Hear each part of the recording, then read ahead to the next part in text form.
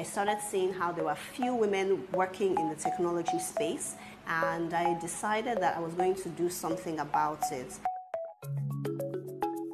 My name is Oreoluwa Lesi. I'm the founder and executive director of W.TEC.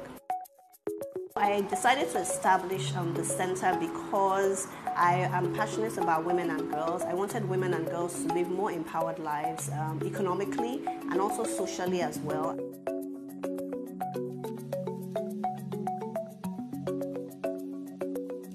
The low numbers of women in technology in Nigeria is really a big problem. The um, latest figures that we have from the Nigerian Bureau of Statistics show that approximately 20% of the ICT, so the information and communication technology workforce, are made up of women. So that means that the remaining 80% are men. That's a big problem. So, yeah. Before the training, I did not have any tech skills. I really did not know what I wanted to study or have any defined career path.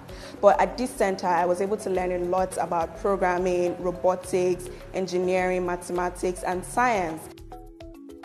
The training has really impacted me and given me confidence to actually build an app with one of my friends, one of the friends I made from the, from the camp. And we're building a study app. We're still discussing some things, but yes, it's something I hold close to my heart. So I had the confidence to really go ahead to study a computer science course because I had been given the training at this center. So all that has actually given me the confidence to do that because I didn't study anything related to technology. If there's any advice that I can give to young girls is that you have the ability to do anything. Before I came here, I also felt like you know, maybe science and technology is not for me. Oh, you know, I'm a girl, maybe I can't really do it, but I had that confidence boost that I can really do anything that I set my mind to.